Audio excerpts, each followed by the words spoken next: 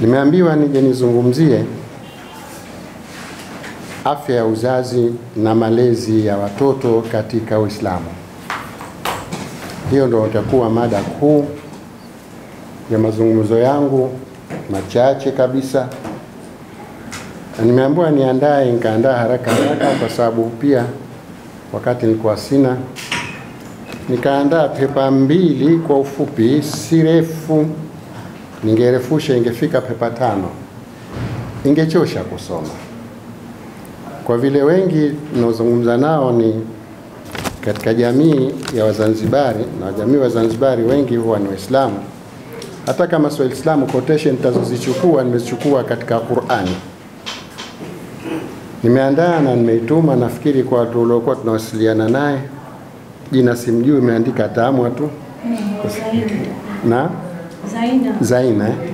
Ah, nilikuwa nikiwasiliana na Bi Zaina akanambia andaa mazungumzo mafupi uje uzungumzie katika kikao hichi. Nikaituma au nikafanya utaratibu wa kutumwa, nafikiri asubuhi nimepata taarifa kwamba imefika. Sasa hii naichambua chambua mwenyewe na sitazidi labda nusu saa, kama kubwa nipunguze katika presenter, kwa sababu labda kutakuwa na michango na masuala tunaweza tukaja tukayauliza tukapata majawabu. Ada- Mada kama nilivyokushaisoma hiyo, afya ya uzazi na malezi ya watoto katika Uislamu. Hii unaweza ukaandika hata kitabu. Nimeanza kama nayo nilo- niloituma, binadamu asili yetu ni baba yetu Adam ambaye ameumbwa na Allah kwa udongo. Sote tunajua kwamba Adam alayhi salatu wassalam ameumbwa kwa udongo,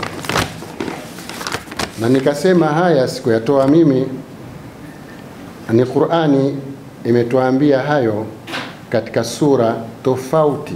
Maana hiyo kuumbwa Adam kwa udongo, tukichambua aya, kila sura unaweza ukaikuta Adam kaumbwa kwa udongo, Adam kaumbwa, lakini hapa nimechukua baadhi tu, nimesema katika sura tofauti.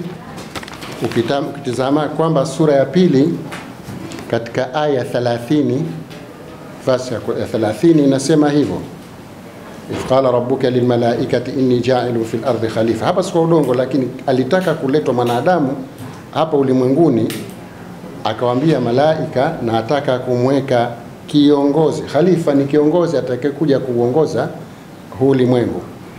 Hapa kama pa kuchambua, kwanza waliumbwa majini, kwamba kwanza waliumbwa malaika. Malaika wao hawamuasi Allah, ndio tunavyoambiwa alafu baadaye wakaumbwa majini. Majini wametangulia kuumbwa kuliko sisi wanadamu. Tunaamini kuwa wapo majini na Qur'ani natuambia hivyo kuwa wapo majini na wameumbwa kabla ya kuumbwa mwanadamu. Aya, mwanadamu ameumbwa mwisho katika viumbe watatu walioumbwa. Kwanza ni malaika, pili ni nazungumza Kiislamu eh? Pili mala, majini, kisha akaumbwa Adam. Sasa huyo Adam ali, alisema Mwenyezi Mungu nataka kumweka khalifa. Khalifa ni kiongozi, sie ni viongozi wa hii ardhi, kama tutautumia vizuri huu ulimwengu wetu. Kwa hivyo sura ya pili, kwa maana ni suratul Baqara aya 30 inasema hivyo.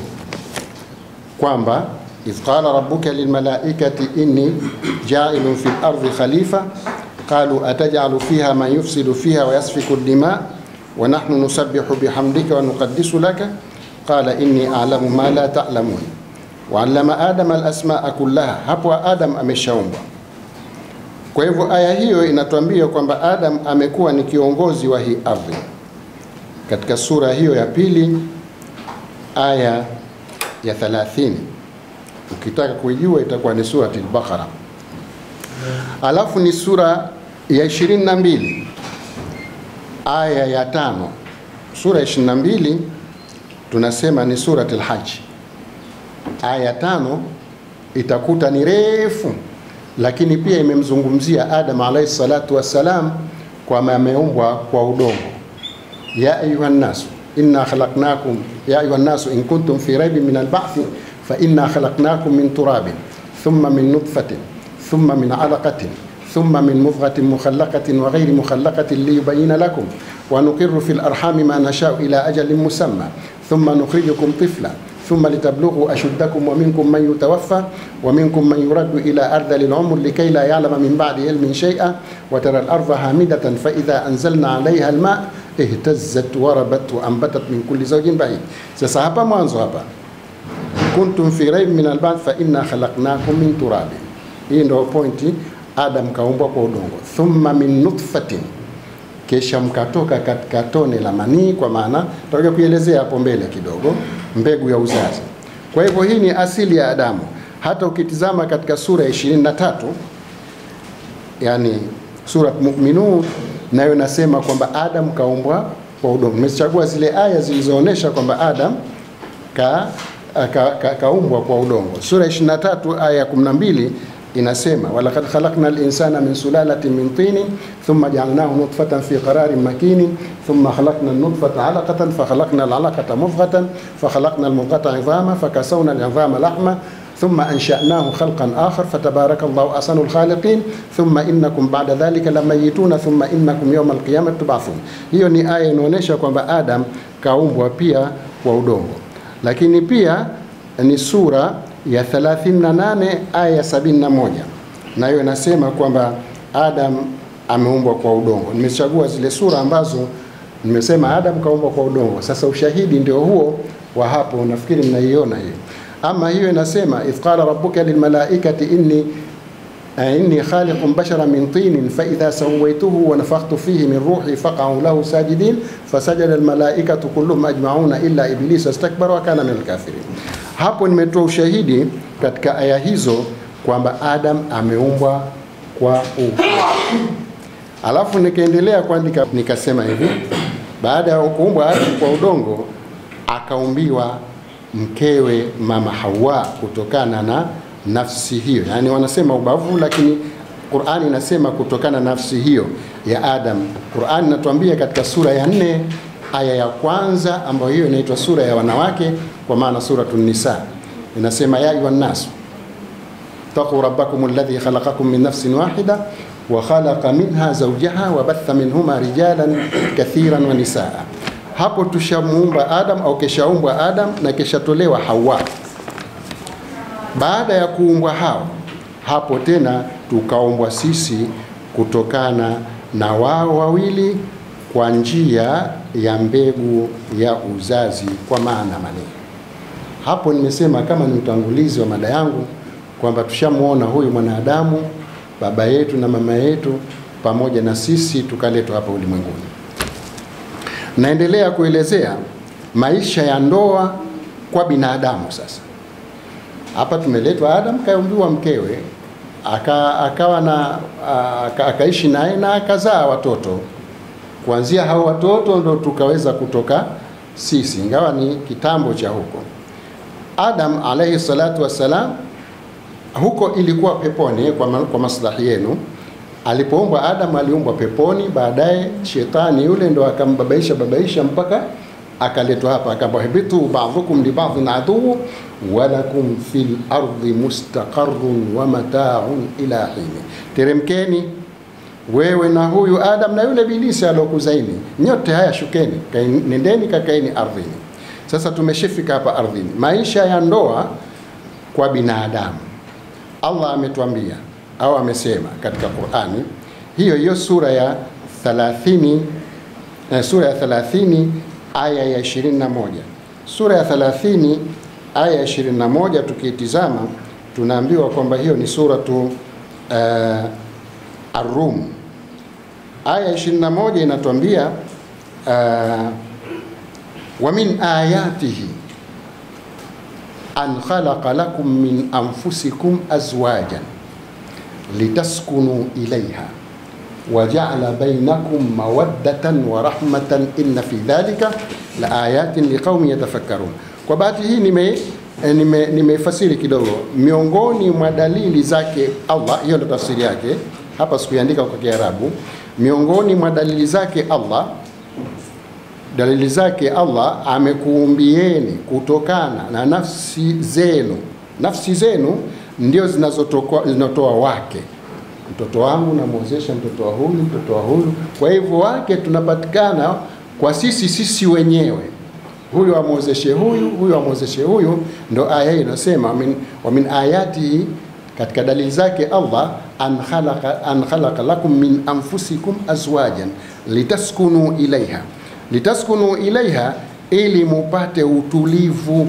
Kwa hivyo ndoa asli yake inataka utulivu, lakini tofauti na vijana wa sasa, ndoa ni mgogoro wa nyumbani, hawajui zile taratibu za ndoa. Hebu nawasome taratibu za ndoa ili iondoke migogoro katika ndoa zetu. Asli ya ndoa ino litaskunu ilaiha, ili mupate sakina. Inasemekana kule Adam alipoumbwa peke yake hakutu, hakutulia akapata lepe la usingizi kidogo hivi, ndo akatolewa Hawa. Baada ya kutolewa Hawa ndo akaanza kutulia. Kwa hivyo ndoa hasa kama itafata misingi, basi mbona ndoa nzuri tu wako tunaishi sie wenyewe tushaishi miaka 41 ndani ya ndoa la hatujaacha, sio vi, sio vijana wa sasa unaoa kesho kesho unakuwa. Kwa hivyo asli ya ndoa ni utulivu, litaskunu ilaiha, ili mupate kutulia kwa hizo nafsi zenu wajala bainakum mawaddatan wa rahmatan, tukajalia baina hizo ndoa kukupeni mawadda, ni mapenzi, wa rahma, na kuhurumiana. Kama hakuna kuhurumiana katika ndoa, kama hakuna mapenzi katika ndoa, basi ndoa hiyo itaparaganyika tu, hata miezi miwili mitatu haifiki. Allah tuzumishe ndoa zetu inshallah. Alafu nimesema katika sura ya 42 aya ya 40 sura ya 42 aya ya 48 49 mpaka 50 nayo imetuelezea hivyo hivyo. Sura ya 42 ni tisha Shuara, ni aya ya 48. Tuitita, tuitafute hii aya ya 48 mpaka ya 50. Aa, anasema Allah subhanahu wa ta'ala, sura ya 48 sura ya 42 aya ya 49 na itafuta aya 49 pamoja na aya 50 inasemaje? Aya 49 na aya na, na mpaka aya 50 48, mm, lillahi mulku samawati wal ard, lillahi mulku samawati wal ardhi, kwa Mwenyezi Mungu ndo kuna kwa ufalme wa mbingu na ardhi. Yakhluqu ma yashau, Mwenyezi Mungu hu, hu, huumba apendavyo. Yahabu liman yashau inathan, humpa au humtunukia anemtaka, akampa ndani ya ndoa zetu hizi, akampa wanawake watupu. Hiyo amesema Allah, wayahabu liman yashau dhukur, na akampa anemtaka wanaume watupu katika familia. Familia hizo zipo kila unaozaa mwanamke, kila unaozaa mwanamke, kila ukatamani uzae mwanamme nyingine kila ukizaa mwanamme, kila ukizaa mwanamme ukatamani kuzaa mwanamke. Allah kasema katika hiyo aya au sura ya 42 aya ya 49 na ya 50, yahabu liman yashau inathan wa yahabu liman yashau dhukur au yuzawijuhum dhukranan wa inatha, au huwachanganyia leo mwaka huu akazaa mwanamke, mwaka huu akazaa mwanamme, wakawa wa kike na wa Wayajaalu liman yashau aqima, na humjalia amtakaye akamfanya tasa akawa hazai. Akasema inna Allah alimun khabir, Mwenyezi Mungu ni muweza tena ana, anajua vya kuwa. Sasa tuje katika afya uzazi pamoja na mtoto. Tushataja Adam, tushataja sisi kuoana, tushaja mimba zinavyo hapa una, unajaza mambo mengi, lakini pepa yangu mmeifanya ya kuja kupresenti kama kuchokoza tu, alafu kama kuna maswala naweza nikaulizwa. Sasa tuje katika afya ya uzazi pamoja na mtoto. Allah amesema au anasema katika Qur'ani kuhusu afya ya mzazi na mtoto katika sura ya pili aya ya mia mbili na thelathini na tatu hiyo ya kwanza alafu aya na sura ya 31 aya ya 14 na sura ya 46 aya ya 15. Tukisoma hizi tutajua namna gani afya inapatikana kwa mtoto na afya inapatikana kwa mzazi. Hiyo tuje hii ya kwanza kwanza, aya ya, uh, ya, ya, sura ya pili aya ya 233 anasema Mwenyezi Mungu, walwalidatu yurdhina auladahunna haulaini kamilaini liman arada an yutima radhaa wa ala almauludi lahu rizquhunna wa kiswatuhunna bil ma'ruf, Aya maarufu hiyo, lakini pakushika mama wazazi wanaambiwa na Allah wawanyonyeshe watoto wao miaka miwili kwa kukamilika, kwa yule mwenye kutaka kukamilisha ule, ule unyonyeshaji. Na sura ya 31 aya hiyo inayosema, sura ya 31 aya ya 14 nayo inatuambia uh, sura ya uh, 31 aya ya 14 hiyo inaitwa Suratul Luqman. Suratul Luqman aya ya 14 inatuambia hivi, wawasaina linsana biwalidayhi hamalathu ummuhu wahnan ala wahni wa fisaluhu fi amain an ishkur li waliwalidayka ilayya almasir wa in jahadaka ala an tushrika bima laysa laka bihi ilm fala tuti'huma wa sahibuhuma fi dunya ma'rufa wattabi' sabila man anaba ilayya thumma ilayya marji'ukum fa unabbi. Hizi ni aya nyingi, lakini hasa hiyo aya walwalidatu wa ala wahni. Mama wanyonyeshaji watoto tumewahusia kwa wazazi wao wawafanyie mema watoto wazazi wao, kwa sababu mama kamchukua ujauzito wake, shida juu ya shida, tabu juu ya tabu, dhiki juu ya dhiki, ndo wahnan ala wahni, wafisaluhu fi amain, na kumwachisha ni miaka miwili. Kwa hivyo aya ile inasema kunyonyesha miaka miwili, na hii kumwachisha miaka miwili ndio ile ile kunyonyesha na kuachisha miaka miwili. Alafu pia na sura ya 46 hiyo namna afya inavyokuja kwa mtoto pamoja na mzazi aya sura ya 46 inaitwa sura al-Ahqaf. Sura al-Ahqaf ni aya refu kidogo, inasema hivi aya 16 aya 15 eh, sura ya 46 aya 15 ina, ina, ina, inasema uh, aya 45 au ya 15 aya ya 15 aya ya 15 sura hiyo inasema uh, wasaina linsana biwalidai ihsana, zote ni wasia. Tumemhusia mwanadamu afanyie wazazi wake mazuri. hamalatu ummuhu kurha wa wadhaathu kurha wa hamluhu wa fisaluhu thalathuna shahra.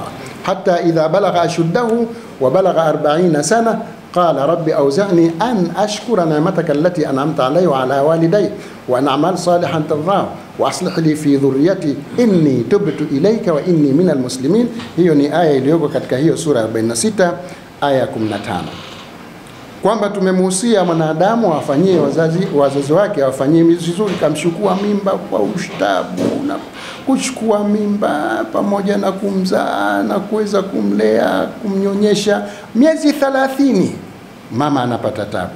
Sasa nikasema hapo sura zote hizi zinahimiza kunyonyesha mtoto kwa muda wa miaka miwili ya ukamilifu kwa yule anayetaka kumkamilishia au kukamilisha kumnyonyesha mtoto wake. Na wakati huo huo sura Suratul Baqara ina, inahimiza kuwa matunzo ile walwalidat yurdhana أولادهن حولين كاملين من أراد أن يرضى. وعلى المولود له رزقهن وكسوتهن بالمعروف. Nimechukua kipande hicho. Hau mtoto uh, sura, hiz, sura zote hizo zinahimiza kunyonyesha mtoto kwa muda wa miaka miwili ya ukamilifu kwa yule anayetaka kukamilisha kumnyonyesha mtoto wake, na wakati huo huo sura Suratul bakara inahimiza kuwa matunzo ya mama mzazi katika kumlisha na, kumwe, na kumvika uh, ni kwa baba na kwa baba mzazi au warithi wake kama baba mzazi hayupo, yani ameshafariki. Kwa hivyo hapa malezi au matunzo, tutakuja kwenye malezi. Matunzo ya mama huyu kupewa virutubisho vinategemea na wewe baba, baba ni lazima umtazame mama mzazi pamoja na mtoto wako, kutokana na hadithi aliyopokea Anas kwamba Mtume sallallahu alaihi wasallam amesema. Hii, hii hadithi huwa inachukuliwa sana, oweni wanawake wema na wazazi, kwani mimi nitajifaharisha kwa mitume wengine siku ya Kiyama. Pia hapo zile sharti za afya ya uzazi na watoto zinahitajika, sio kwamba tuowe tu tuowe tu tuowe tu. Huna, huna uwezo wa kuweza kuwakimu, huna uwezo wa kuweza kuwa, uh, kuwatunza. Afya hii inapatikana. Oa kweli, Mtume kasema hivyo, lakini hakusema uowe tu tupate kuzaana. Oa kwa taratibu ambazo unaweza ukaweza kumwatunza. Sasa tuje katika malezi ya mtoto au malezi ya watoto. Katika kuwalea watoto tunakuja malezi sasa. Katika malezi ya watoto, katika kuwalea watoto hapa tunaelewa malezi ya watoto hasa yanatakikana yata, yata au yatakikana yawe katika umri wa utoto. Ni lazima malezi tuyaanze toka watoto wadogo, kuanzia toka mchanga hadi kubaleghe kwake. Huu umri huu ndo Qur'ani imesema ndo umri wa kuweza kulea mtoto. Katika sura ya 26 aya ya 18 inatuambia ule muda wa kuza, wa, wa, kulea. Sura ya 26 aya ya 18 sura ya 16 aya ya 28 ya 18 inasema inasema qala alam nurabbika fina walida walabithta fina min umurika sinin. Qurani hapa imegawa, imegawa malezi na imegawa kukaa na wazee. Hichi kisa kirefu kinatoka toka kwa Firauni na Musa. Musa aliondoka pale kwa sababu alifanya kosa la kuua, akenda kwa Nabii Shuaibu kule akafanya kazi. Aliporudi njiani pale akapotuma utume, nenda kwa Firauni. Yeye kachupa mipaka kuwaadhibu wana Israeli. Sasa alipofika akaambia, mimi nimeambiwa nije kwako nikuongoze. Hapo ndo akajibu haya maneno ya Firauni, lakini si ya Firauni tena, ni maneno ya Allah.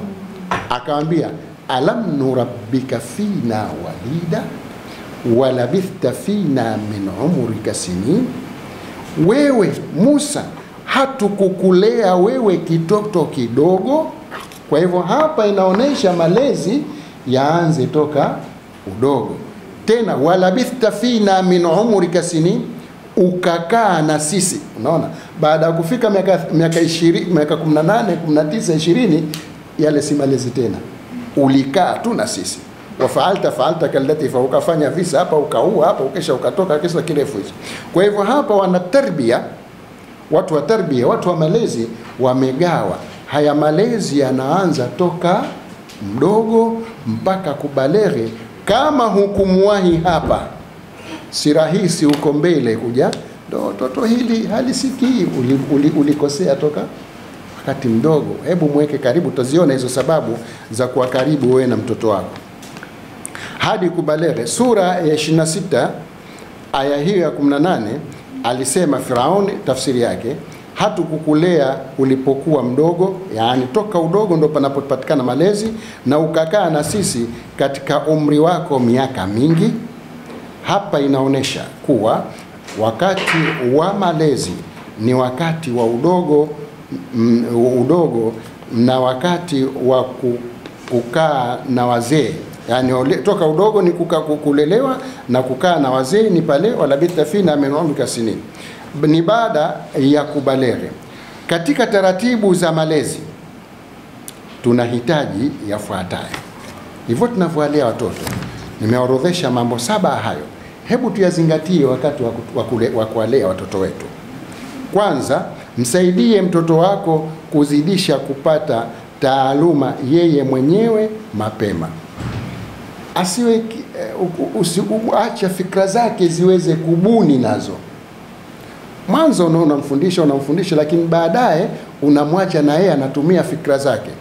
Hapo utaweza kupata mtoto mzuri baadaye. zijue tabia za mtoto wako mapema. Lazima uzifuatilie tabia za mtoto wako tokea mapema. Usimwache tu anaingia saa tano ya usiku, saa sita ya usiku ndo baleghe huyo, ana miaka kumi na mbili, kumi na tatu. Ulikuwa wapi? Nilikuwa mpirani. Basi ndo ishatosha hiyo? Haijatosha hiyo, bado hayajawa malezi. Ya tatu, weka kawaida ya nyumbani na zilazimishwe. Eka taratibu za nyumbani. Humu bwana, mimi sitaki mtu kesha kula chakula chake sahani akamwekea mama yake, maana mabarobaro yako hivyo yanakwenda kuweka kwenye karo kule, eh? mabarobaro Unajua bana? Yana barabara.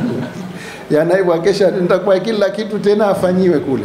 Hebu weka mikakati mapema, weka kawaida za nyumbani na, na zile na, na zi, zila, zila, zilazimishwe hizo kawaida. Wewe unaweza ukazipanga na uziwekee mikakati hivi. Sitaki mtoto hapa baada ya sala ya isha kumwona yuko nje.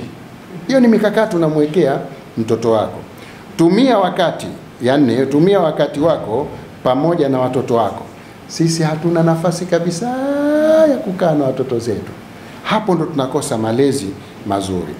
Kwa, mm, kwa kigezo, kuwa kigezo kizuri kwa watoto wako, isiwe wewe mwenyewe huko anakujua baba yuko kadha, baba yuko kadha, alafu wewe una, yale unayoamrisha wewe sio uliokuwa nayo. Alafu ya sita, kuwa karibu sana na was, na tukuwa karibu sana na wasiliana nao, nawasiliana na watoto wako, uwe na mawasiliano ya watoto wako. Ya mwisho, ziko nyingi hizi, kuwa mwenye kuzi, kuzi, kuzinyoosha tabia. Zote zinakabiliana, lakini moja baada ya moja, kama utaifuatilia, basi utafanikiwa katika malezi. Nikifungia, malezi ya watoto na afya ya mama mama mzazi yanahitaji yatu- yatunzwe na wale wenye majukumu kwa familia. Hapo nimefikia, nimefanya nyepesi ili ifahamike. Uwanja ni wache kwenu, kama patakuwa pana maswala, pana maelezo. Alhamdulillah, tukomee hapa.